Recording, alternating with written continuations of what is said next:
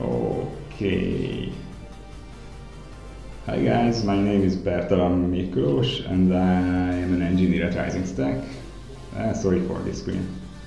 Uh, and uh, yeah, this is the first screen of RisingStack, so I can't promise everything will go well, but I will try my best. We have everything set up. And I will speak about front-end development today. Uh, I don't know if you read the last blog post about this free API server, but one of my colleagues, he's called Robbie, he's right here. So one of my colleagues just made uh, an API server. The music is too loud.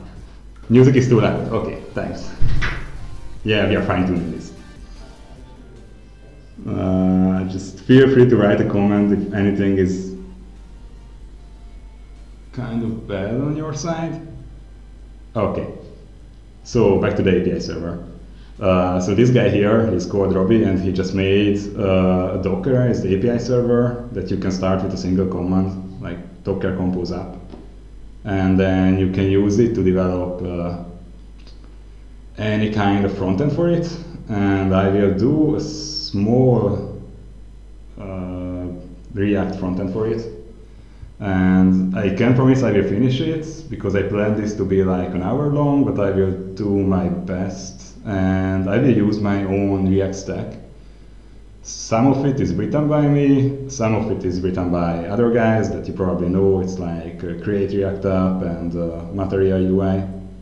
And then some of it is not yet open source actually. So yeah, I will open source that thing later too. But I still have to fine tune it. Uh, yeah, sorry for clicking around. Okay, so let's get to it. Uh, I won't need Atom now.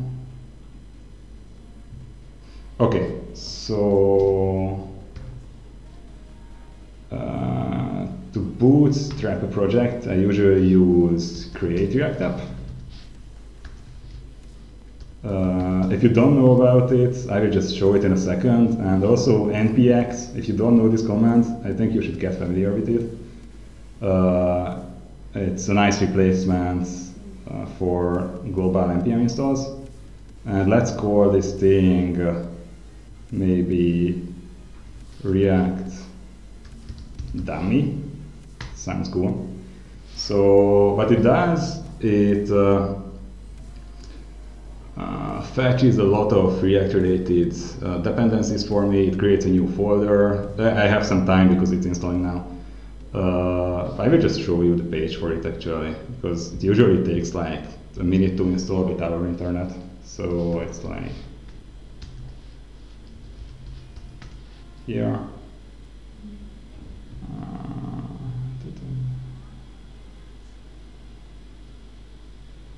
Super slow. Yeah, you usually people usually know the author of it. It's called Dan Abramov. He's like uh, a very prominent React developer. Uh, so what it does, it creates uh, a basic React application for you with all of the Webpack config and uh, for now it has offline support. I, I, guess they will remove it from the default config and it also has some basic source code for some inspiration. I actually, I would like it more without any source code, but uh, that's just my preference. It works as, as it is. So you can see that it's, it's, it fetches some packages, it links together dependencies for me, and it needs a little bit more time. And after that, we can get started. But so this is like the fastest way to to bootstrap a project. Uh, if you don't know about this, you can like this is a, a no config project, so you should just use it as it is. But if you have issues with it, there is a command called eject, and you can just run npm run eject to basically get out all of the config from behind the scenes and uh, yeah it's some advanced stuff actually I don't like to do it but uh, but because of this it's a nice start for any project because if, if you grow out the default config then you just eject and take it over yeah we are done So uh, we should have a folder called React dummy now because Create React App just made it for us. And if you look into it, you have all these files here, and I will just open this with Atom. This is my preferred editor. And we're waiting a bit.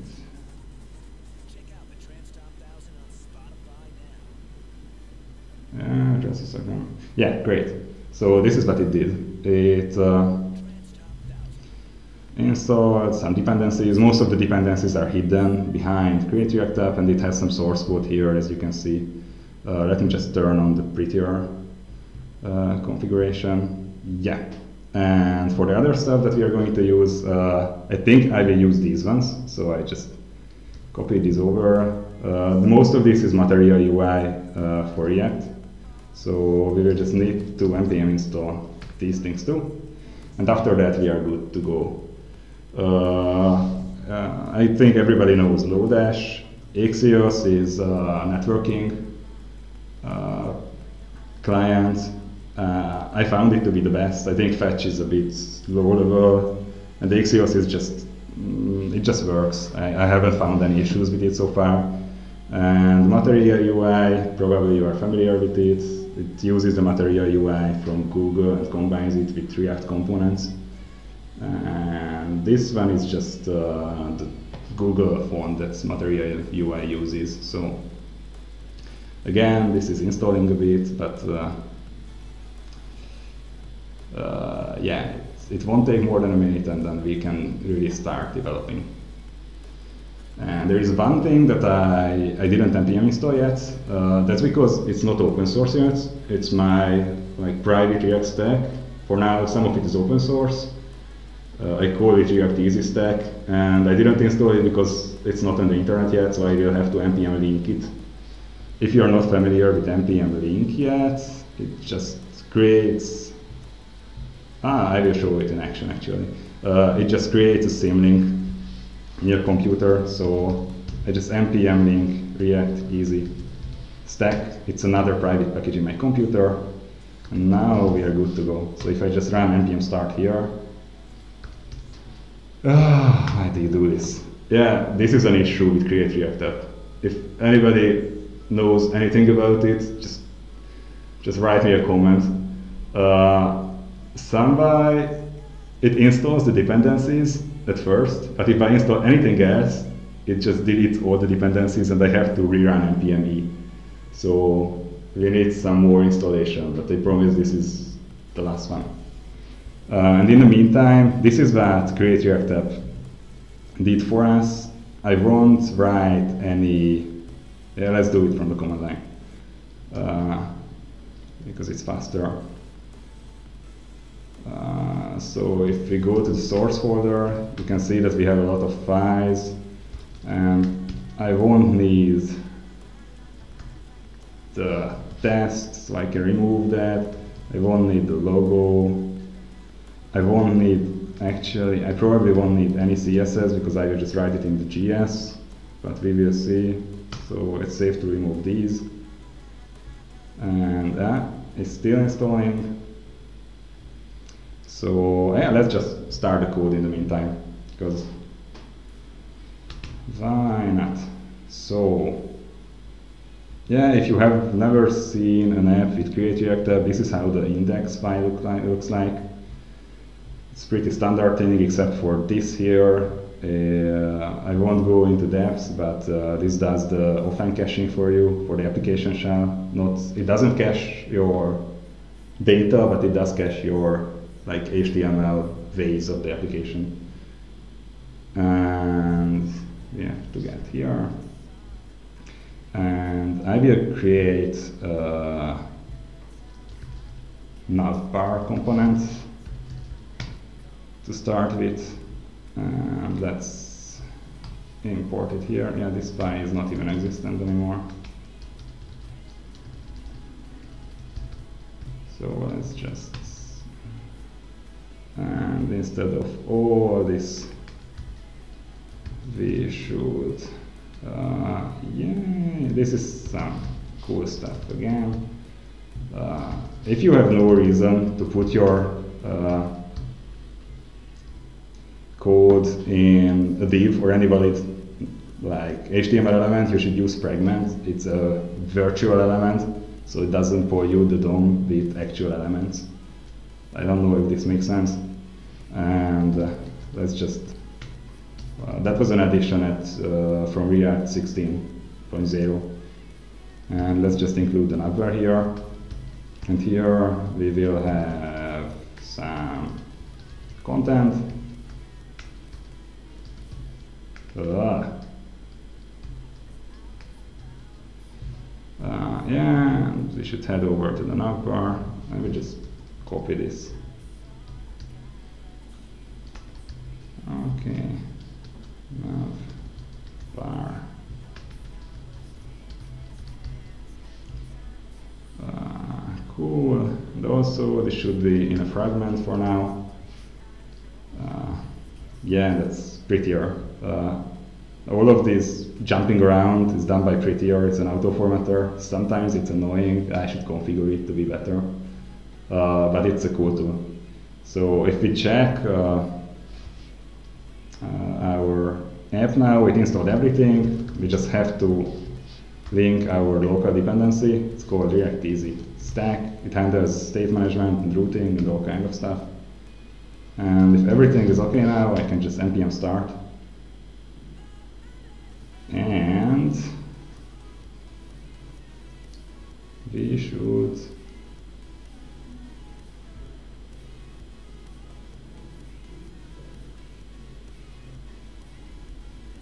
Mm-hmm. Uh, I'm waiting for it. Yeah.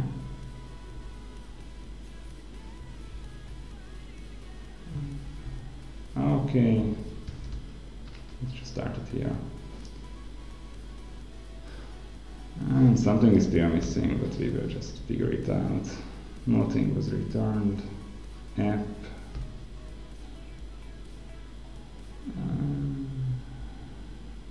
JS.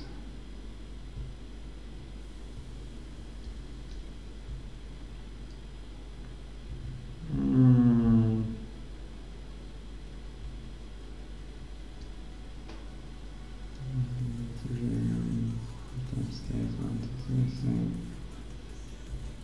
Uh, I'm checking things. I don't see any issues here, but I'm probably missing something. Just replace this one with a div for now.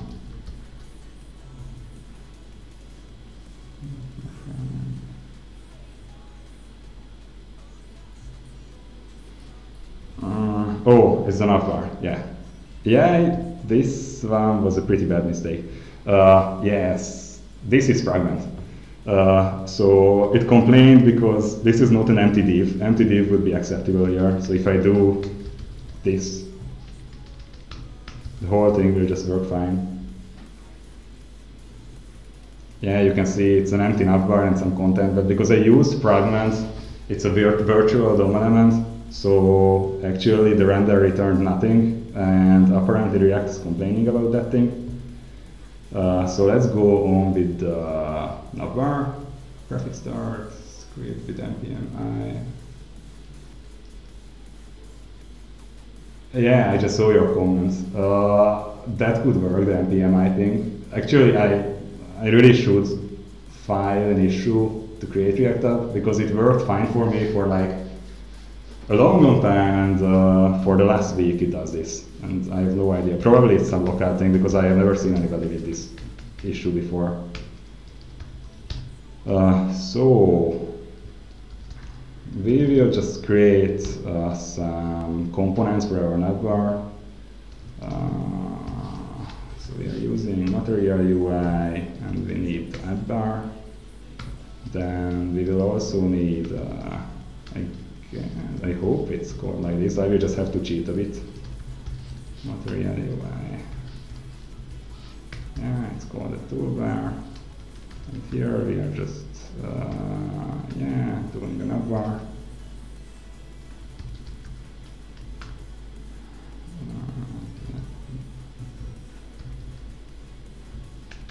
That's super annoying. I might just turn this off. This side here, let's make a toolbar. Okay, and let's see what we have. Okay, so we have a completely empty app bar now. Uh, that's a start, and uh, I forget to tell you what we are doing actually. Uh, so this is the post that I started with. If you were not here, one of my colleagues made an API server to just play around with, to learn front-end technologies, and you can find uh, the documentation here. It has basic authentication, so we will do that. It's like login, register, logout. Uh, and it has a list of products basically. Uh, it's pretty cool because you can progressively create applications to it because half of the API is public. Like you can list all of the products publicly, but you can only edit or delete products if you have if you have logged in. So first we are making a little search application for the public products. So this is why we need this app bar. We are just going to uh, put a search bar into it. Search bar from material UI search bar. And we will need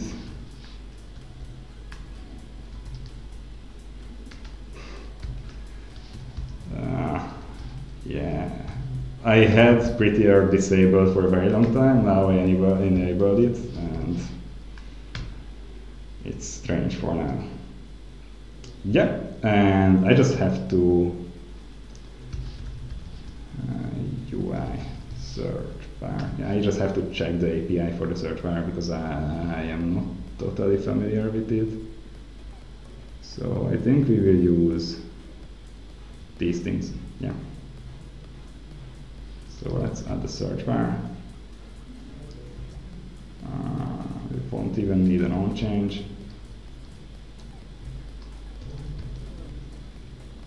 Okay, and if you check the app now, uh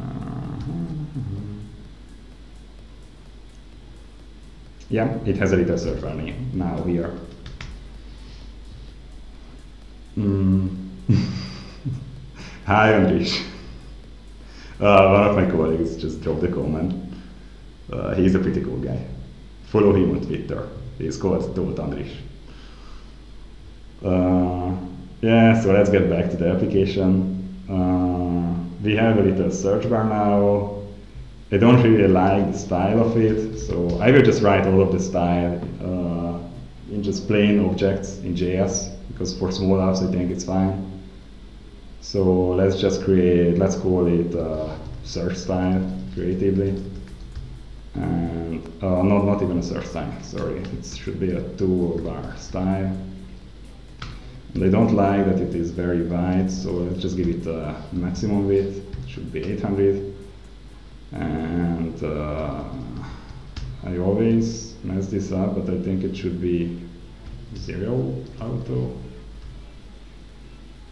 we will see it in a second. Uh, I never know which one is the x dimension and the y dimension.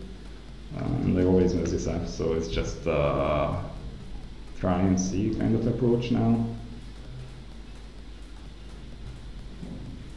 Uh, yeah, that seems to work. Header, toolbar style max width 800 margin auto zero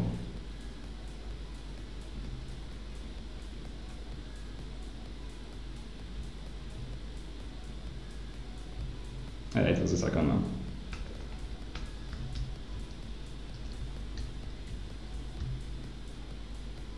Okay, it's not perfect, but uh, we will just make this one better over time. So let's add some functionality, and this is where um, my private stuff comes in. Uh, so we will need a few things from uh, React Easy Stack. Uh, first, we are going to need params. React easy stack, and we are also going to need view. Vue makes components reactive. It's uh, part of the state management thing. And uh, this on request search. Uh, I'm just checking the comments. Uh, it should be like this dot on request, on request, on search maybe. Yay, cool. And I prefer to use arrow functions instead of binding my methods, but it's just me. Again, prettier. Jesus. Uh, and what I want to do here is uh, I want to uh, do params.search equals filter. Yeah, it should be better now. And let's just search for something. You will see when you do this. And if you check the, the URL parameters now, if I just I know, search for something else, it's just auto updates.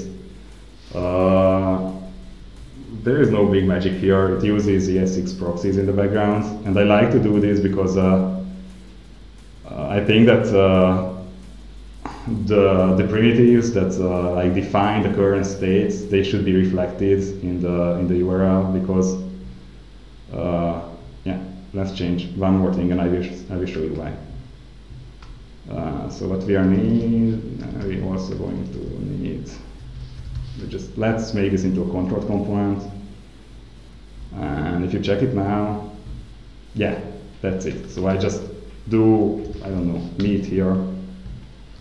And if I want to share this thing, it should be shareable by a URL. So if I just give it to someone else and they open it, it should open the application in the exact state that you passed it and this can be a pain, so but it's important.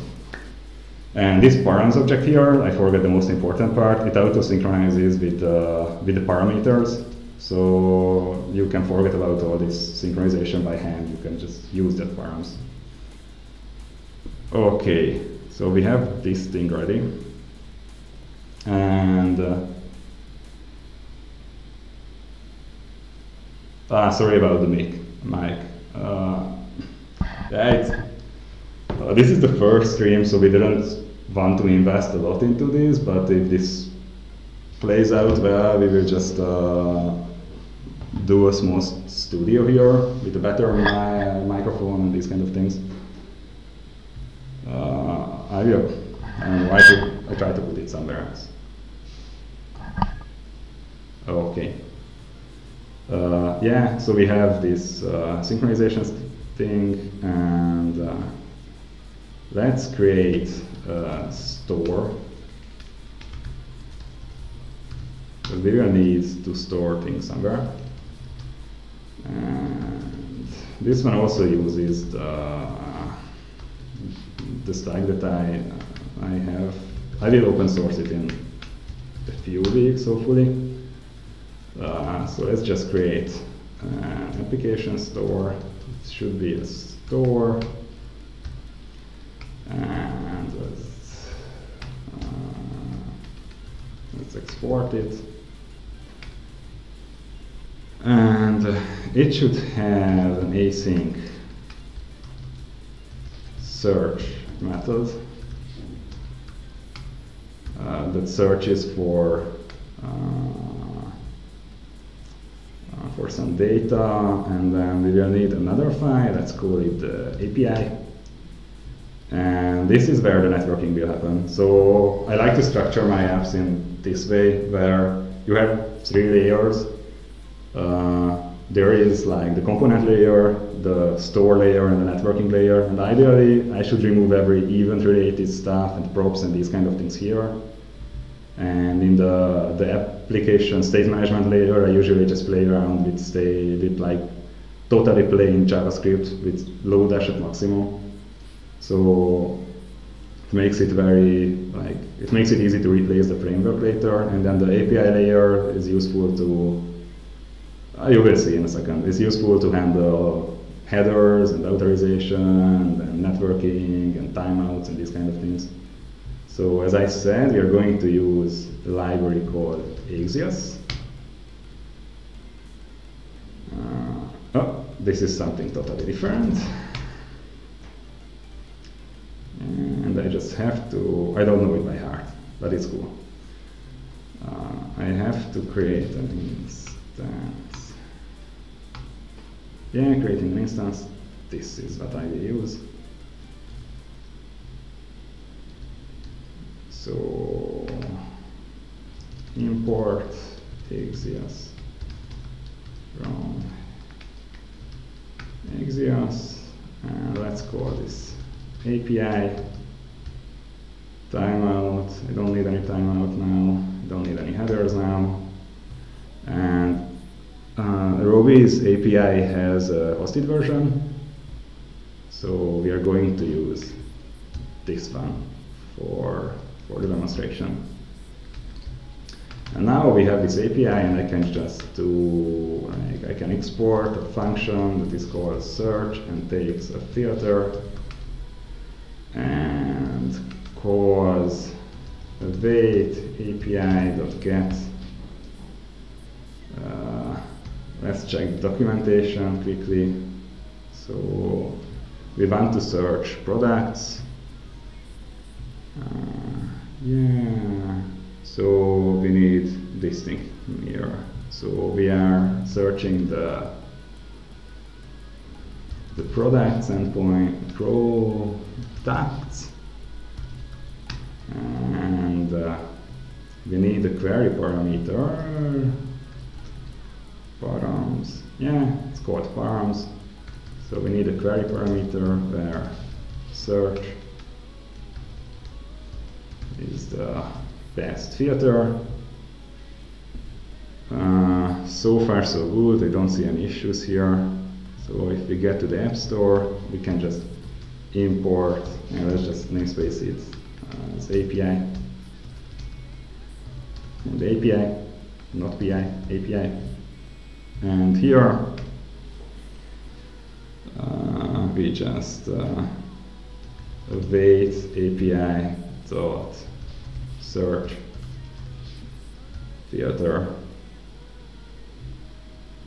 Okay, and in the API, I actually have literally no idea what this, uh, let's check what this returns. Uh, so this one returns an array of products. Uh, cool. So let's just, we don't need any headers and other kind of thing. So let's just distract the data from here. And uh, return data.products. We only need the array. If you check it here, it returns an object with a single array. So this should work. Uh, and in the App Store, this one, this dot products equals, and let's just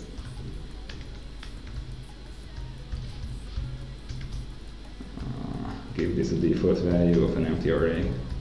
It's not required, but it's nice, kind of it documents uh, the intention. And uh, this one is important. Uh, I never use this in size store methods because this is a single object and uh, it's a singleton, so this doesn't make any sense here. You can't have multiple instances of this. So you can just use a simple simple closure here. So instead of this, you can use the App Store directly. And what this does is uh, it allows you to uh, pass the methods here as callbacks without any binding or any other stuff like that. You can only do this with objects, you cannot do this with uh, classes, but it's a cool little trick. Uh, yeah, so I have this search now, and if I get back to the navbar component, I search. Yeah, I should just app store dot search filter. It doesn't mean like here I am not using it as a callback, but it's it's safer to do it uh, this way instead of this in case you ever want to pass it as a callback. Okay. Cool, and in the App Store, I just want to console log App Store dot products after the search. I bet this one won't work, but we will see. App Store is not defined. Cool. That's not a big issue. So let's just import App Store from App Store. Probably we'll have some other issues. Mm -hmm. Yeah, that was not an async function. It happens. Ah, if you saw it for a second, prettier didn't work there. And that was because I had a syntax mistake. And it just styled it in a second. So if I search for meat, it searches, it returns an empty array. If I search for rustic, yes, we have the data here. Perfect. Uh, so let's go on. We have to display those products that we have. So uh, it's getting together now. So we are going to need another component. Let's just call it uh, uh product list JSX. And I'm also going to copy the app here. Uh, okay, let's call this again product list. We'll need an app bar here. Uh, I will need a few things. I will need a view probably. Uh, React easy stack. And let's view product list. And I need App Store from App Store again, Epic. Uh, and here I just have to App Store dot product dot map. Yeah, I forgot something. And I have a product. For now, let's just do this to see if everything works correctly. Product dot name. I just have to check if we will also need a key product dot id. And in the app, below the navbar, we will need the product list. Import product list from product list. So we need the product list here. And just to check it, yeah, the products have an ID and a name, so what we did was okay. So if I search for rustic here, it does absolutely nothing. I search for meat, nothing. We have a mistake somewhere, so I will just have to check that. Uh, App Store, Amazon, App Store, product. So in the product list, mm, yeah, this is an issue again. Fragments perfect. There are so I, I misuse fragments so perfectly that you can learn a lot from this. Here I had an array inside a fragment, and I think that caused an issue. Maybe not. We will see. No, that was not it.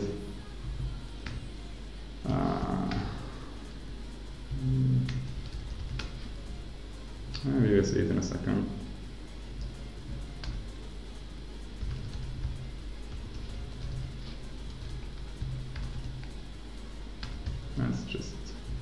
This one. And app store that product Uh, yeah, sorry about this. Something just went wrong, but uh, maybe resolve it in a second. Mm.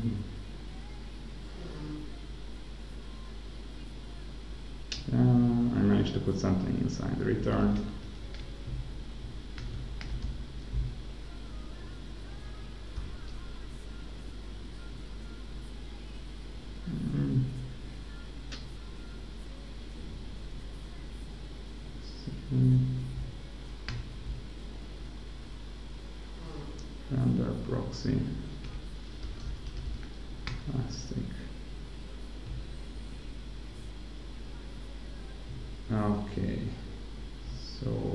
Issue is not here. P, P, ID. Store that map.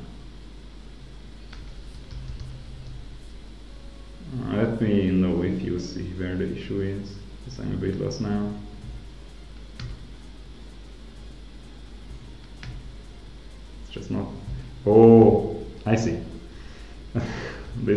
Nasty. Uh, we will have to do clever little trick here. Uh, it actually rendered out everything correctly, but uh, our application uh, style it just rendered things below the bar so we will need to uh, pro that maybe app style maybe add an app style const app style and it should have a margin top for now, at least uh, 80 probably. And if you check it now,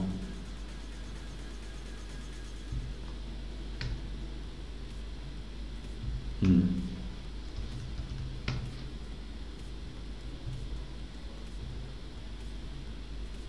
I'm still a bit lost.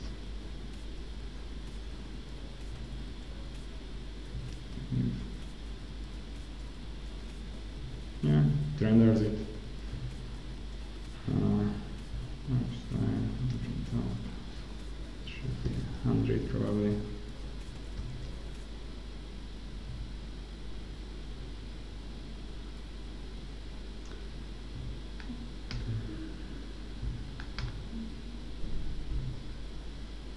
Mm, yeah, everything is rendered. I just have some, some issues with. Uh, yeah, of course, I have some issues. Uh, if I try to do something silly,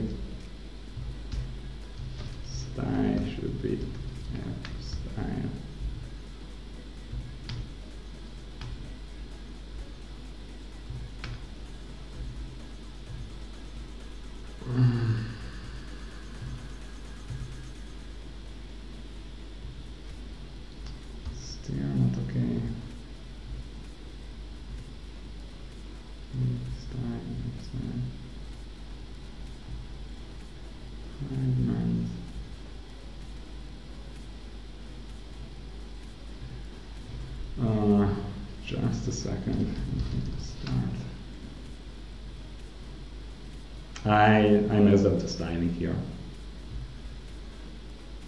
Uh, first, I rendered stuff behind the application bar, and then I tried to apply a style to a non non-native DOM element. So I tried to apply a style to like a basic uh, React component, and of course it doesn't work there because I, I don't handle the style props in the other uh, in my component. Now it works. Uh, okay, so what happens here is um, actually multiple things happen already. So if you search for something, uh, it actually propagates to the query parameters and it searches for data. It fetches data from the API server and it displays the data here. Uh, we should make it a bit nicer now and add a little bit of extra awesomeness. So first we are going to need a product component to display that uh, uh, to display that product. Uh, so I'm just going to copy this again. Uh, I won't need it here. Just have to focus a bit more. Yes, so let's just copy this thing and make a new file. Let's call this product.jsx. Uh, I won't need this. We'll need uh, view. We have a product. And inside the product, we will need uh, card and card content probably. I will have to check it from material UI slash card. I'm just doing a quick check here. Material UI next. Yes, uh, this is a component library, Material UI for Yet, and it has a super awesome documentation, so I can only recommend it to to build your applications. So if you check this card here, you can see that uh, it has a card and it has a card content, and that's it. So actually I didn't mess it up. Uh, so we are going to need a card here, and inside that card we will need, uh, let's see what we will need card content. We will need a card content. And inside the card content, I will just use, uh, this is not the nicest thing to do, but I will just use uh, a simple H3 tag. And uh, so if you check it here, we are passing down the will pass down uh, the product to this uh, component product.id. You will see it in a second. So we are passing down on the product as a property to this component. Uh, perfect. And here we have the product, and if you check the the little API server, you see that it has a name, a description, the price and the currency. That should be enough for us now. Available ingredients, maybe we will add that later. So for now, we only need like name and a description. Uh, yeah, so just let's distract it from the props. Perfect, and here we will just display the name, and we will just add paragraph and display the description here. Yes, it won't work for now probably, but we will just, I fix it.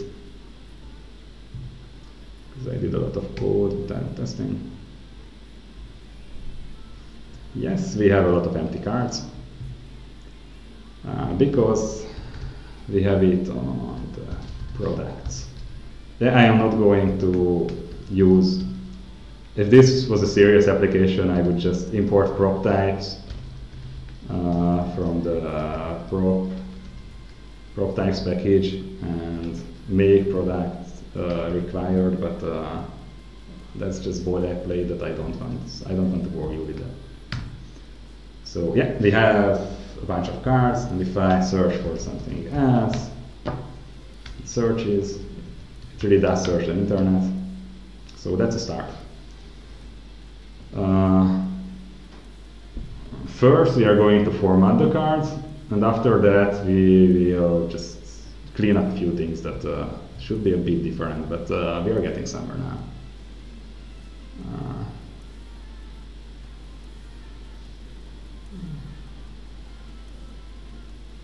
yes, uh, so to sum things up. Uh, this will be like a product listing UI. It's a UI for this freebie server here. This is a server made by Robbie, my colleague. Uh, the last article in the blog is about this server. You can just start it with a single command. And really the purpose of this server is to is to build dummy UIs for it. So I am doing that. Uh, I built a dummy UI for this server in React, and uh, you can find the documentation here. It's uh, hopefully I'm not wrong. I think it's a, server for products, and products are kind of uh, groceries here or foods. So for now, I am not concerned with uh, login and registration. I am just doing a simple UI for the public part of the API, and that's uh, and mainly that's that's about searching uh, food uh, with keywords. So you can see it finds food drastic. Yes, the names here they are super awesome. Uh, if you don't know Faker, you should check it out. It generates these kind of things for you. Uh, yeah, so let's go on. For the cards, we are also using some styling. Uh, let's name this product style. I think that we should use a bit of 350 at first, and then ah, yeah, just to be safe. Uh, no screen is narrower than 350 I think, but uh, this one is a nice safeguard in case it happens. Because uh, this one we are just, uh, you know, max width had a, has a higher priority than bit, so it will just uh, limit it.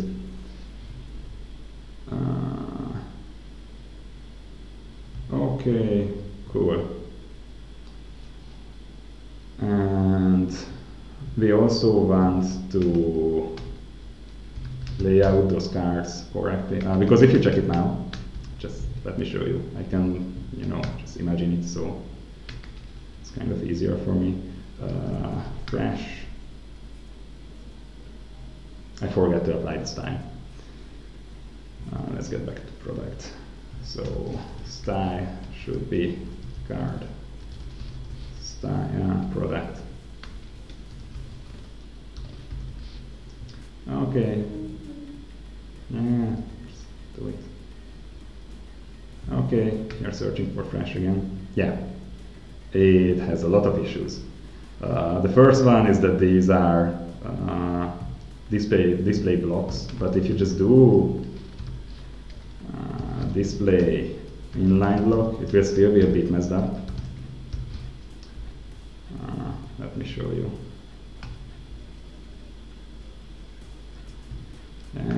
I should have used hot reload. Yeah, you can see, yeah, apart from not having a margin, I will fix it soon, you can see that the cards are adapting to the content. So one is smaller, one is bigger. Uh, we don't want to do that. So instead of doing this, we will just uh, do a flexbox because it's super powerful. So let's just make a list style. It should be uh, flex box display. Huh? I'm actually, wow, I forgot how to write flexbox. Yeah, this happens. Flexbox. Ah, okay. So it should be a flexbox and it should align items uh, space between and it should yeah this is the magic justify content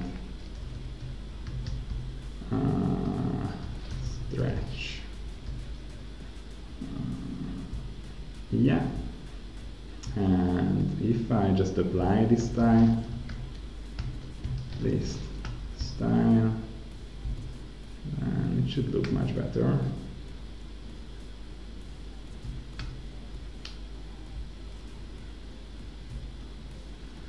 basic concepts. I don't have auto completion from CSS because I didn't set it up for JS in CSS in JS. So I am actually struggling with this. You know what? Let's just do it here. So let's make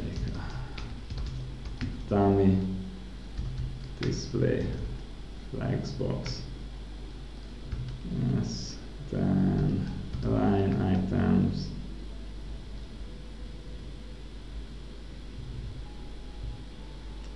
That should be stretch and justify content should be space between and flex wrap should be wrap. Uh, yeah, sorry for the long styling. It will be over in a second. Uh, I usually write my style in CSS, just I wanted to, to make this one simple. So I, I, will put my style here. Let me just copy that thing here and reformat it. So it should be a flex box. Uh, align items should be stretch. Should be space between justify content. Flex wrap should be wrap. And I'm just in need of a couple of commas. Now it should be better.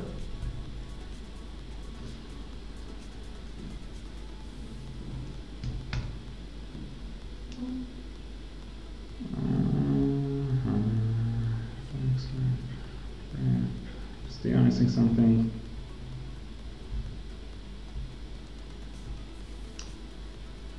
Just a sec. Justify content.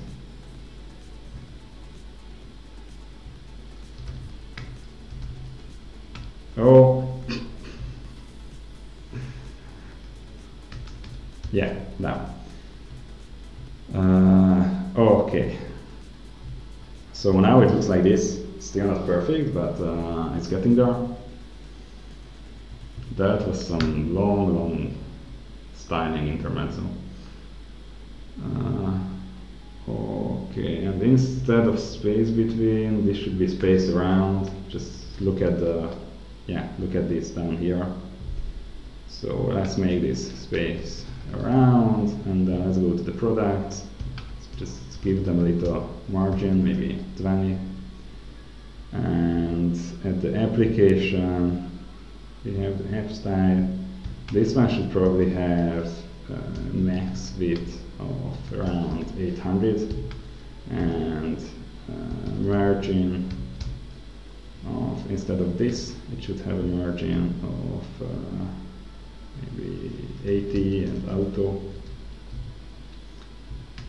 USC internet. Mm,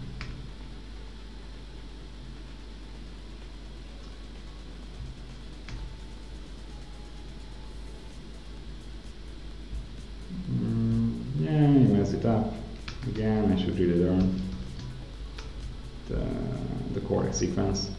I again messed up the X and Y margin with the, the shorthand syntax. Uh, no, that was not it.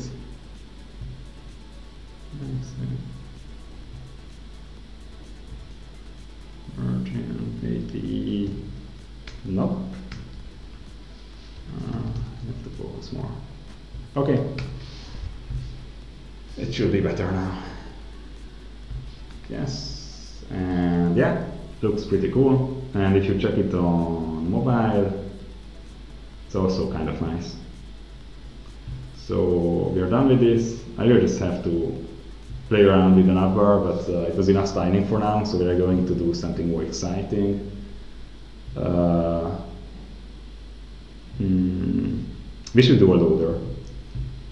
Uh, so for small apps like this, uh, yes, about loading, just a little primer. Uh, so there are many ways to handle loading. Uh, what I usually don't like is uh, when people uh, just erase everything from the screen and they put a loader on the screen and then there is a loader for some time, and then they put out the new content because uh, it looks dirty for for small connection. It's just you know it's just a flash of it's just an unnecessary flash uh, for fast connections, and for slow connections, it just uh, you don't see any data for a very long time. So what I like to do is to keep the old content and put some kind of loader anywhere, probably at the top of the application or somewhere that indicates that uh, just hang on, I'm loading stuff. So we are going to do that, and we will handle it globally. We will do an API interceptor for Axios. Uh, let's just copy this code here. So we are intercepting our API. Uh, we won't handle errors for now. So this, this one won't be robust, but uh, it will work.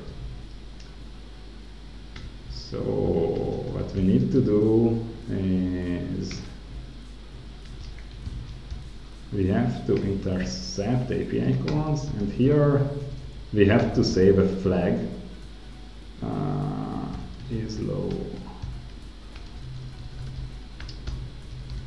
Uh, in the App Store that indicates if the application is loading or not. True. Here, this will be a big fat to do because it has a lot of issues. First, it should do uh, the same thing on errors.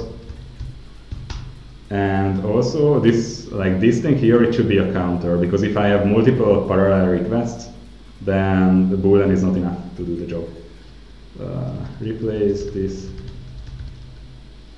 So to be robust, this should be a counter that indicates how many requests I have pending. And if I have zero, it means that I'm not loading anything. Uh, let's just import the App Store, not the Epstein, the App Store uh, from the app, App Store. Oh, we are setting the loading flag here. And if we get back to the navbar, we will need some kind of indication. And, uh, so we need a progress bar.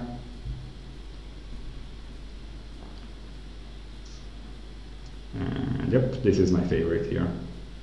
I have used it before, so I know what I'm doing. So we will just use a linear progress bar uh, with a secondary color. Uh, so in the navbar, right below the app bar, let's just put this one in a fragment. Uh, yes, and here, if the App Store is loading, we should just uh, display uh, linear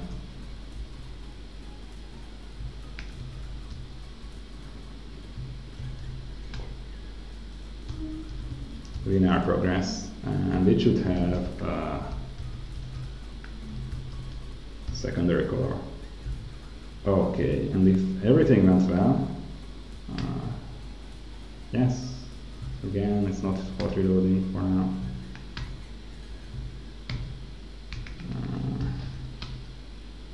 yeah, debugging time.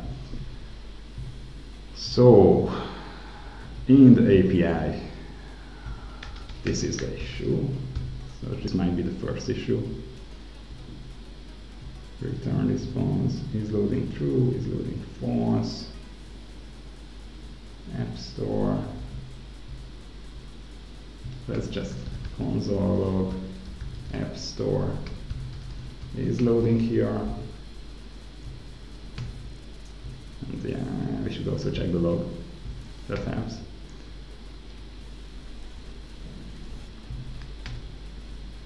True, false.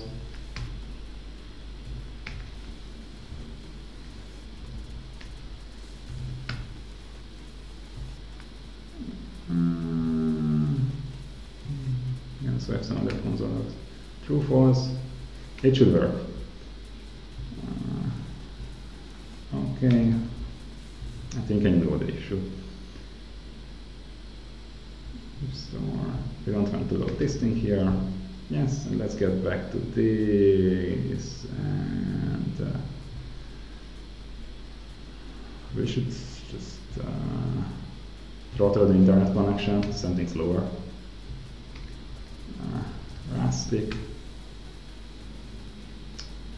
Still not visible. That's not cool at all.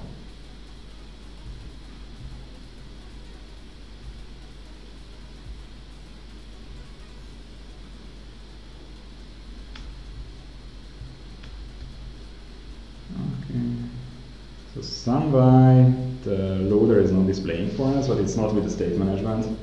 Uh, something else is bad. As you can see, it's still not there, but it should be there. Uh, I will just check if it's in the DOM. Actually, let's just use the React one. Uh, this is the official React DevTools. You are probably familiar with this. Yes. So there is a linear progress bar, but it's at the wrong place. So it should be inside the app bar, I guess.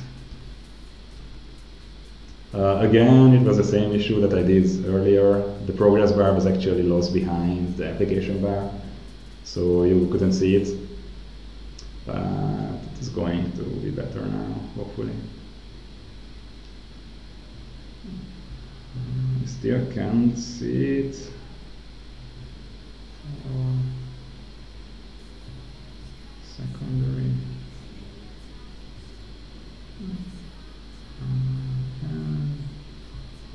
We are debugging it. It should take just a little bit more.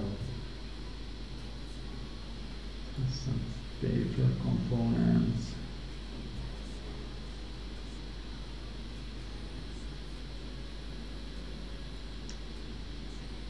Uh, it's there now.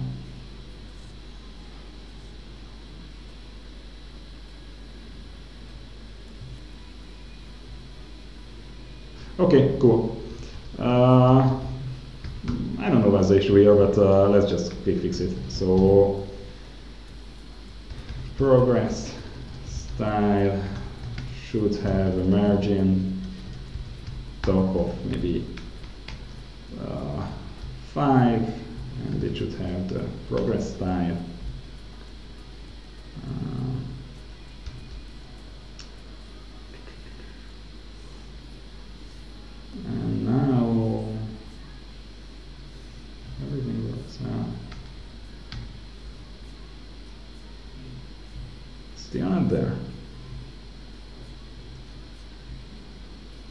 pretty bad I will just leave it and go on if it doesn't work out now.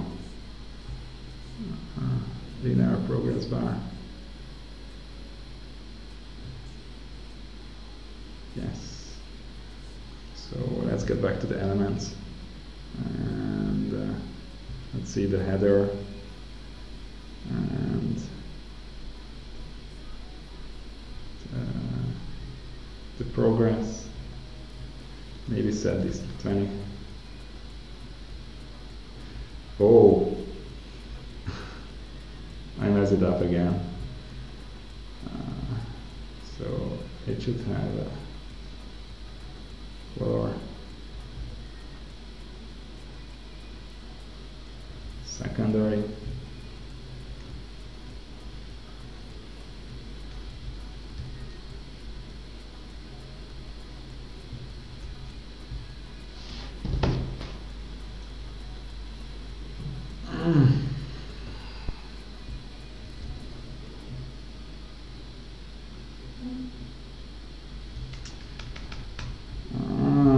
never mind. Just go on. We will fix it later because I'm totally lost right now. Uh, but uh, loading is an important part, so we will get back. Uh, I just need five minute rest, five minutes of rest to do something else, and then we can get back to this and uh, debug it because something is definitely bad here, but I can't seem to find path. So we have, we can search now, we can display the cars that we have. uh, we should also uh, search for the first time that the application was emitted, uh, initialized. So we should just do an fstore.search uh, parents.theater here. Uh, so this just takes the filter query parameter and searches based on that uh, parameter. It's actually called params.search.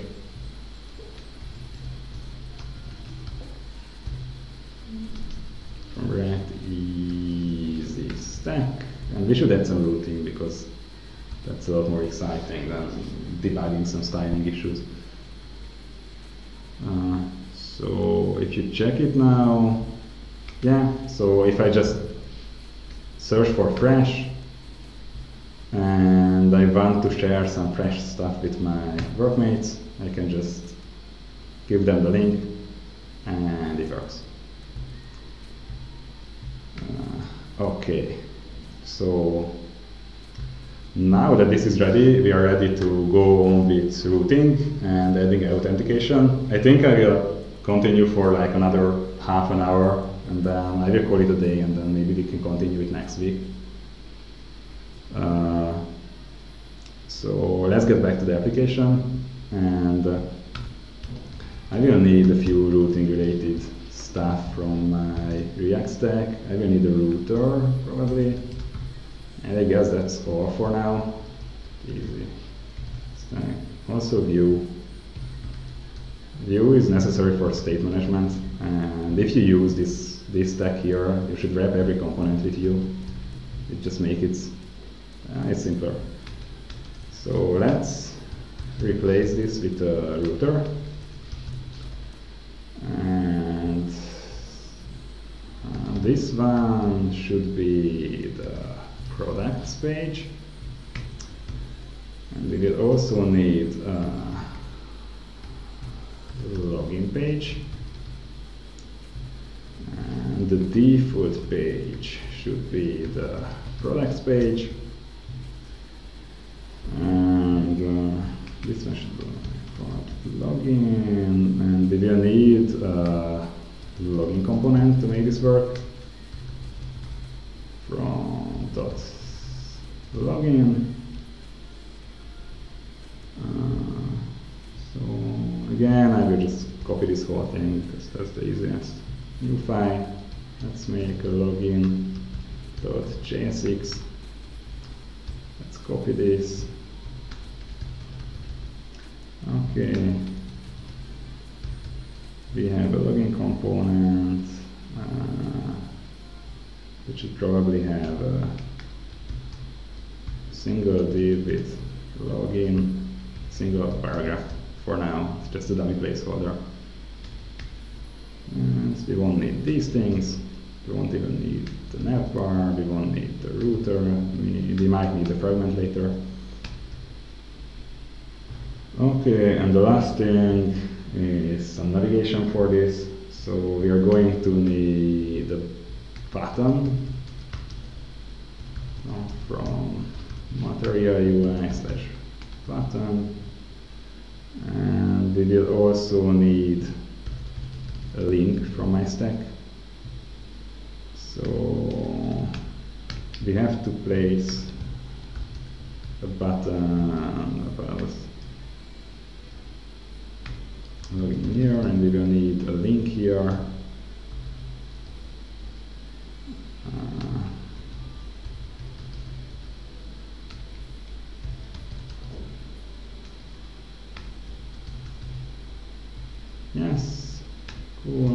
it should point to the login page.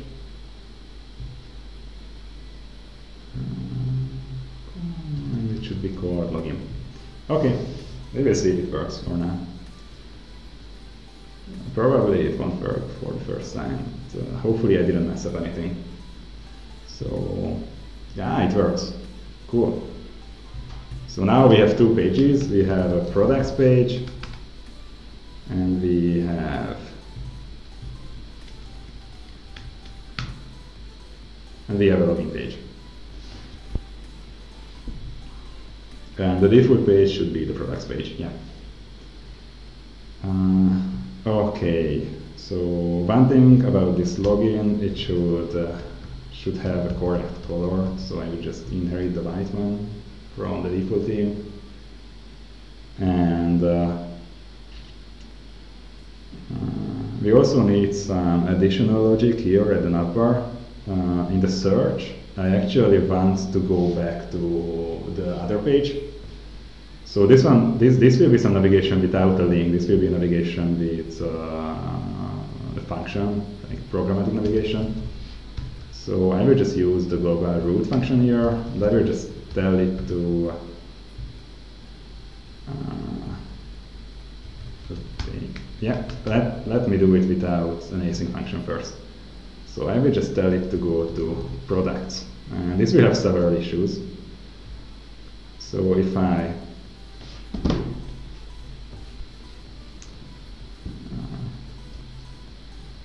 uh, just a second, something is wrong with the button. I have to check it. I messed up something with the colors. Uh, so you're gonna need a button demo inherit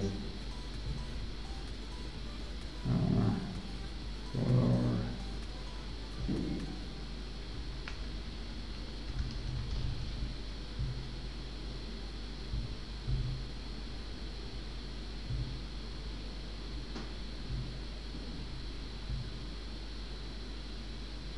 I have no idea about the button, but we will do the styling later because it's not so exciting. So if I go to the login page and then I search for something, it goes back to the products page, but it doesn't uh, keep the query parameter, the fresh query parameter now. So for that, we have two options. You know, by default, this is kind of the default of all of the routers that I know, that if you go to another page, it doesn't inherit the parameters from the other page. You have to tell it in an options object. So I could just tell it in a third parameter, which is options, but I will just uh, I will just pass it as a parameter. These are the, the parameters that I passed. I will just pass it as a parameter and then it should work. And the other issue with it was that, uh, uh, yeah, let me show it. It didn't wait.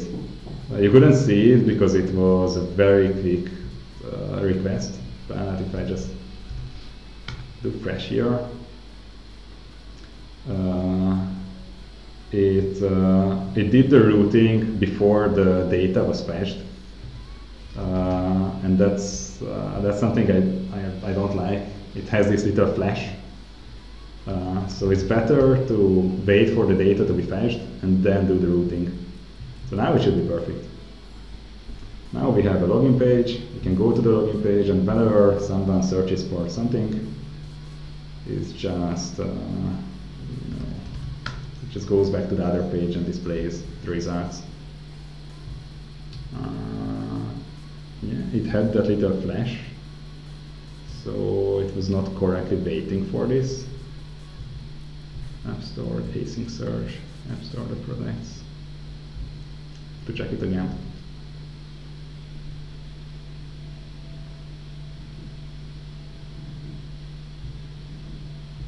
Yeah.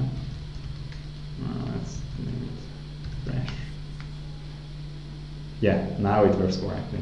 So it waited, it didn't flash anything, and when it finally flashed the data, it just came back here. So we have two screens, and we have some kind of navigation. Half is programmatic, half is BioLink uh, between the two screens. Now let's get back to that uh, progress bar because it really annoys me and I, I would like to get it done before we go on with the login because uh, that will be some more advanced thing. Uh, so let's see this navbar. Uh,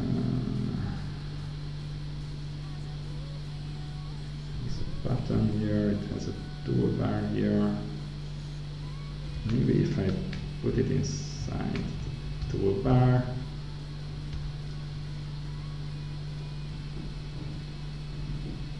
This is some trial by error thing. I have no idea what I that. Okay, so for the newcomers, we are debugging an issue with uh, a visual issue with the progress bar. It's just fun to indicate that uh, networking is going on and hold on, uh, things will get better. And this one is the app bar, and inside the app bar we have a paper, we have a toolbar, and inside the toolbar we have the linear progress bar. This is definitely not how it should be, so we are going to remove this, put it here, and let's give it a style, progress, style. Ah, not for a second more. Okay, navbar. Inside we have an app bar. Ah, it's reloading.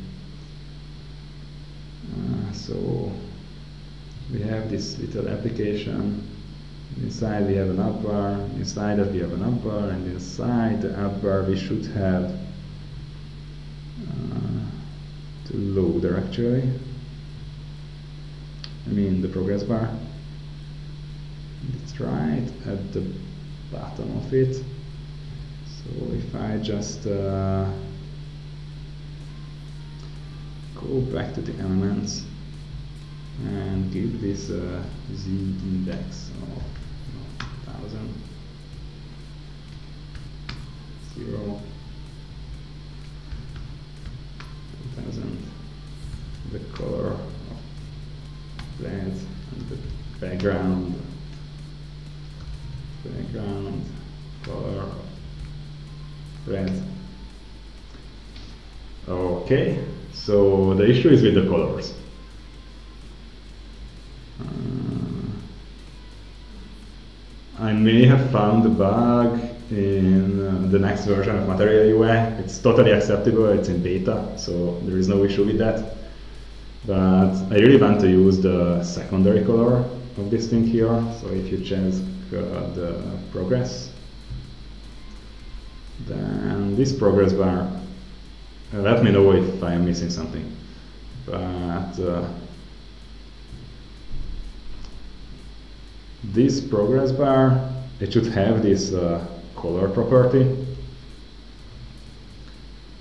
And uh, this here should make it red. Because the issue is that it's uh, purple right now. And the primary color is also purple, so it's just not visible. Uh, it's there, it's loading, but it's not visible. Seems like it doesn't pick up the uh,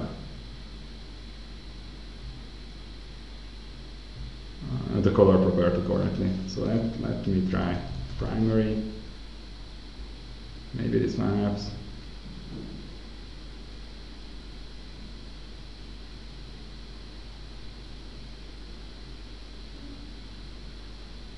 Yeah, it helps. So secondary color is buggy.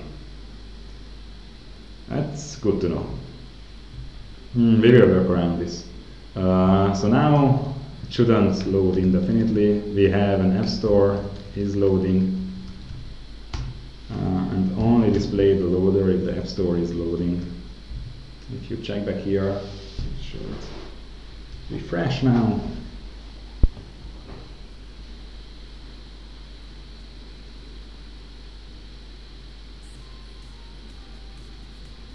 Okay, and then if I'm searching for something else, it displays the loader.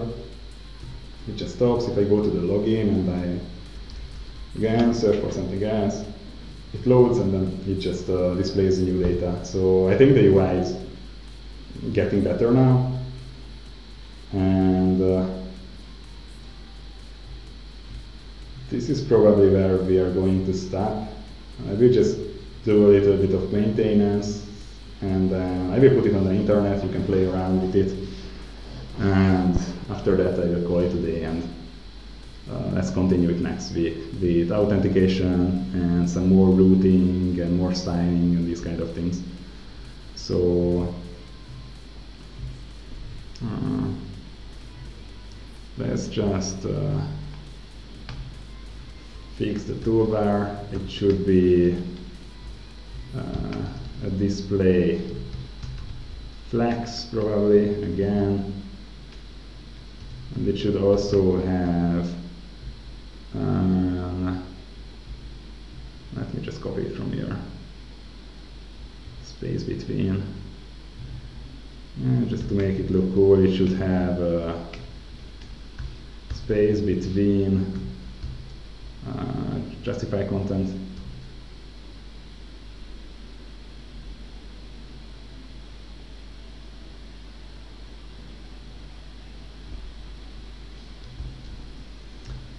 Yes, and uh, I will try it. Just npm install the material UI next version again. Maybe I downloaded uh, uh, an older version of it, and uh, that version had some issues with the colors because it seems like uh, all of the colors are a little bit messed up. Uh, so we will see hopefully it solves the color issues. Because there was a color issue with the login button and also the, um, you know, the search, the progress bar. So these are like the final touches. Flex, wrap, space around. This should be a secondary. Maybe see if it works now. It's a big, big package. We're gonna have to wait a little bit. Uh.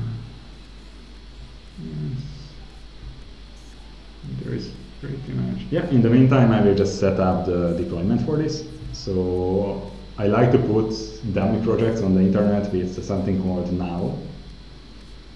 And for that, we will add a now start command and also uh, like and, uh, and now field here and we will give it an alias of uh, uh, how to call it npm link. I just did an npm install so I have to link my local dependencies again and then npm start. Hopefully the color things will be solved now.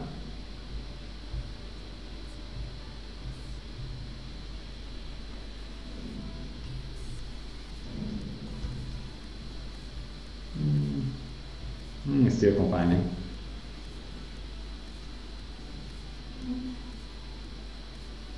Generic concrete salad? Yeah, that's we have a. Uh, let's just do that. So this one will be generic concrete salad. Baker is amazing. So this is going to be the name of our little service. And with the now start script, we also need a deploy script, which should uh, do now and now alias. I will explain all of these a bit later and the now start script should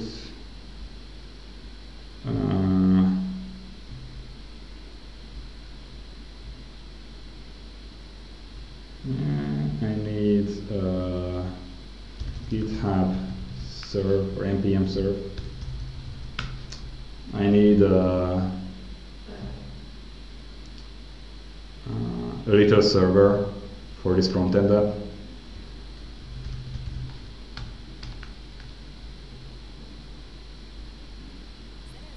Hmm, now serve single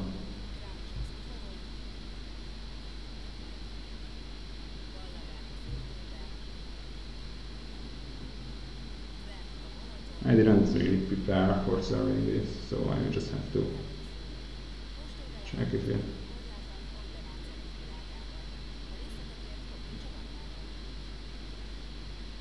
Okay, cool. Uh, so we will need serve uh, build single. This will just uh,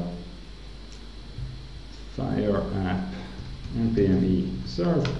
Okay. Uh, so uh, we are going to deploy the whole application to the internet, and I am using a tool by Zeit or Zeit. I don't know how to say it. Probably Zeit. Uh, and it's called Now, and it's a super simple hosting service. Uh, basically, it runs npm build and npm start uh, if, if it finds a package JSON, but I want to customize start, uh, start script because this one is for development. So I just override it with now start. Uh, so it will just uh, build our application. After that, it will serve the build folder as a single page application. So it will let it uh, route on the client side. And after that, I will give it an alias of this perfect name. Thanks for the suggestion. Uh, so you can find it by this URL on the internet after we are done, hopefully in five minutes. If service installing, installing, so the internet is super slow somewhere. Uh, and yeah, just to sum it up, uh, we actually made a small application with three layers. Uh, this one is the API layer. We just made, uh, I, I, used Axios, and uh, we just made uh, an Axios instance with the base URL. We could add base headers, and we will add the token here also in the next session. We have two interceptors. They are used to toggle the loading flag. So when there is some networking going on, uh, these are just toggling the, the loading flag. These are not perfect, but they work for now. And for now, we have a single endpoint which searches the products API endpoint uh, with filter. And the other layer of the application is this store layer here. It's just plain JavaScript. Uh, it has some products and it calls the API layer with a filter to, to search and to search for products and save it. Uh, and then we have the final layer, it's the component layer. Uh, we do the routing here, we proxy events to the uh, store layer. Uh, we synchronize with the query parameters here and all kind of things like that. We do the styling here. So this is, for this application at least, this is where the heavy lifting happens. And we have serve installed now. So npm link react easy stack. And we just have to npm run build.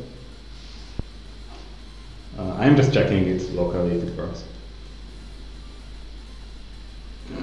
It should be ready in a few minutes.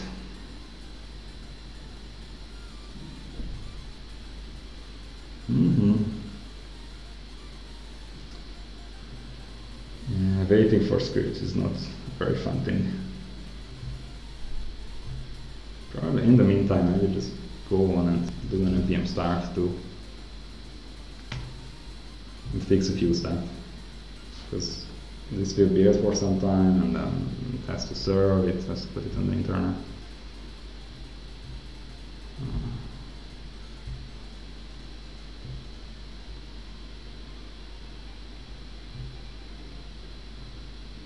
And this one is also super slow now. I have no idea what's going on.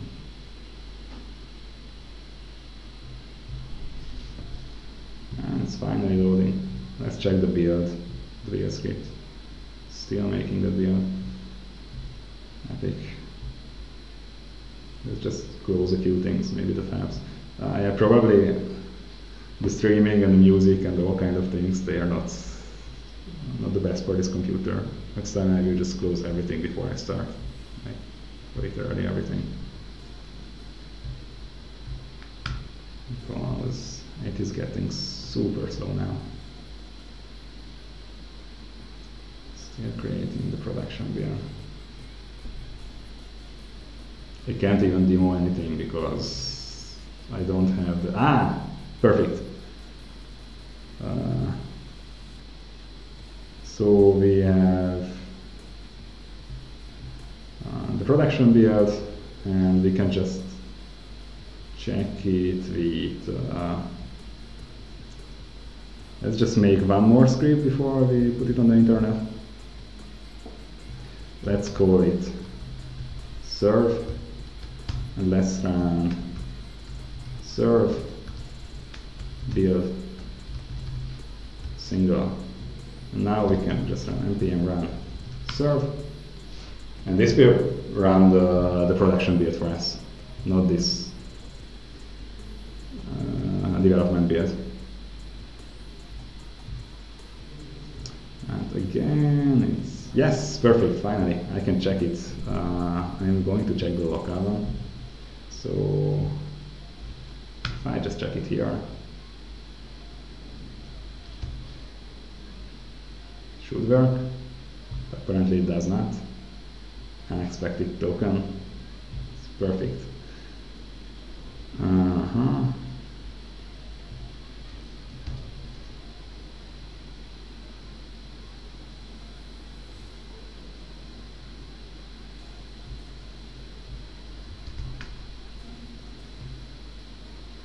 I may know was issue here. npm run build again for one last time.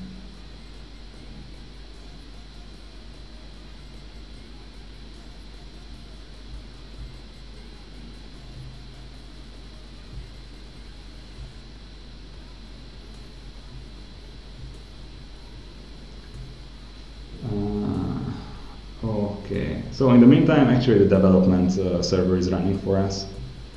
So we can just play around with the application a bit more. Uh, probably in the toolbar, it has a max speed, it has a margin. Probably I should style the toolbar a little bit. Probably I should play around with this button. It should inherit this color instead. Should also check the toolbar here. Because uh, I'm only doing this because it's still loading, like building. Uh, and yeah, uh, just to make it nicer, it should have a width of 100%, but it is capped by the max width. So if you check it now, it should look a lot, lot nicer. So it should look like a normal application after this refresh because uh, it was a little strange that everything was in the middle. Yeah, now it's it's a bit better. I just have to fix this button styling here because it's amazingly shady. There's this loader, perfect. There secondary. Again, for the button color, it should be a secondary. Why?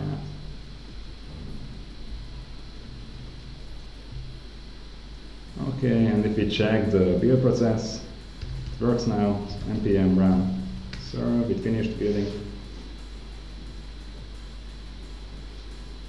Mm, let's check this one in the local network again. Please work. Yeah, so something was bad with the, the build process. Uh, so if I do fresh, okay, works.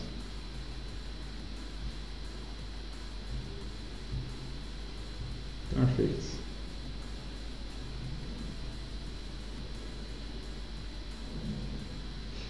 Okay, so this is the final build version.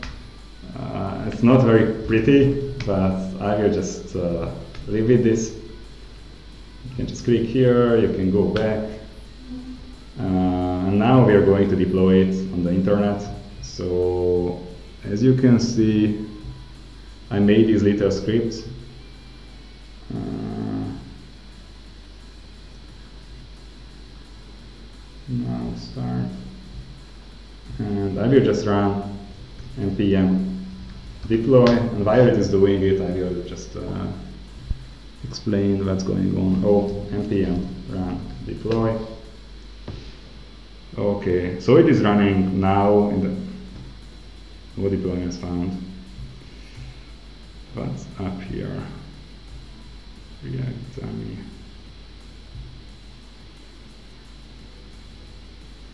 Oh yeah, it's working now. Uh, so it creates a URL for this application, and I can just go there and see what's happening there. And this one is an immutable instance of this service. So after this, I can just either delete it or leave it there. I will just leave it there for you guys to uh, to play around with. I see some build errors, which is not very nice, but we will see if it works out.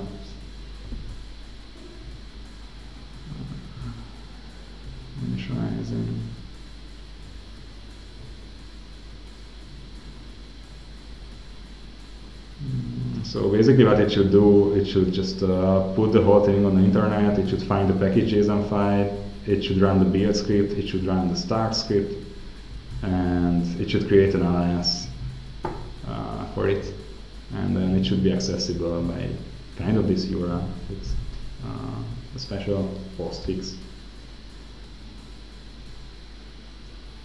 But it seems like we have some issues.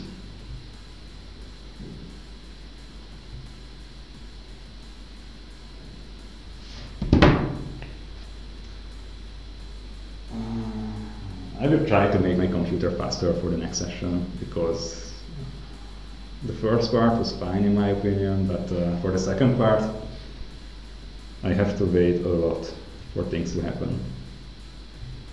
And I just don't want to continue developing now because uh, I think it's over. Okay, just so I will just do a little recap uh, while it is deploying it. So if you didn't read the latest blog article on RisingStack, just uh, it's awesome. I suggest you to do it. It gives you a little API server that you can start with a single command, it's docker compose app. Uh, this one right here. Uh, and I am I basically built a small application for the API server. For now, I use I only use the public endpoints. So Actually, I only use one endpoint. I use the searching endpoint for it. But I try to put a lot of best practices into this very simple application. It searches for uh, stuff. It uh, saves the actual, it saves the only primitive parameter that defines the current uh, state in the query parameter. So if you just open it in a new page, it's shareable, it goes back to the exact same state because this one is here.